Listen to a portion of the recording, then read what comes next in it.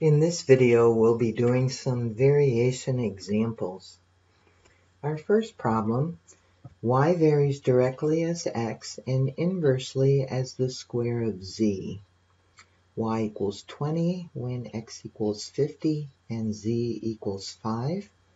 Find y when x equals 3 and z equals 6.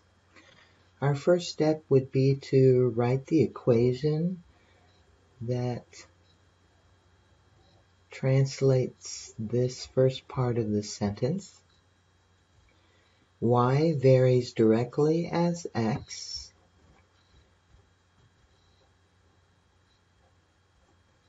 and inversely as the square of z.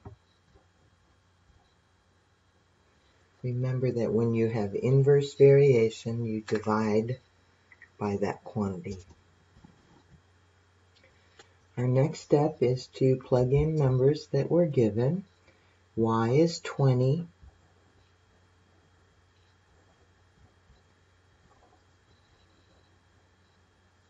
When x is 50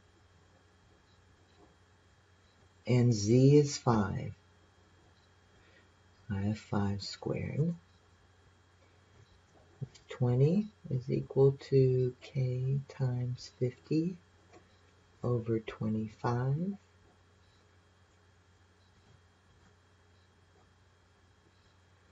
So 20 is equal to k times 2.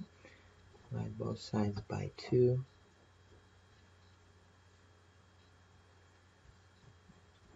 k equals 10. Then we'll plug this k value into our equation. y is equal to 10 times x divided by z squared. Now we have enough information to finish our problem. Find y when x equals 3 and z equals 6. y equals 30 over 36 and this fraction simplifies to 5 over 6.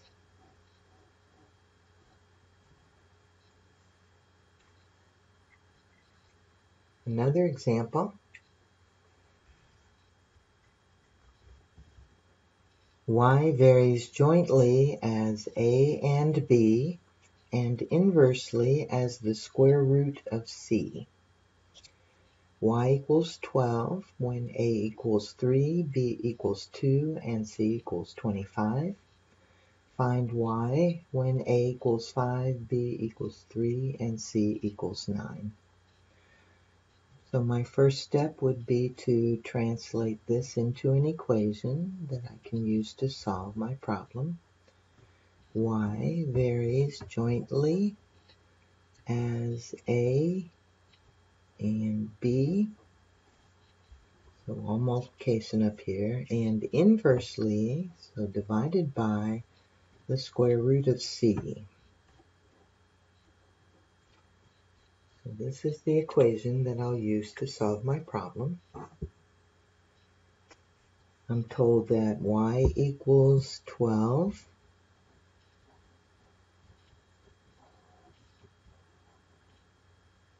when A is 3, B is 2, and C is 25. Square root of 25. Now I can solve for K. 12 equals K times 6 divided by 5. To get K by itself, I'll multiply by the reciprocal.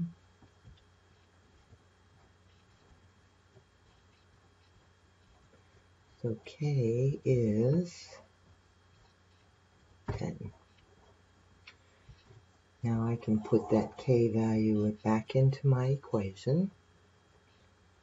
Y equals 10 times A times B divided by the square root of C.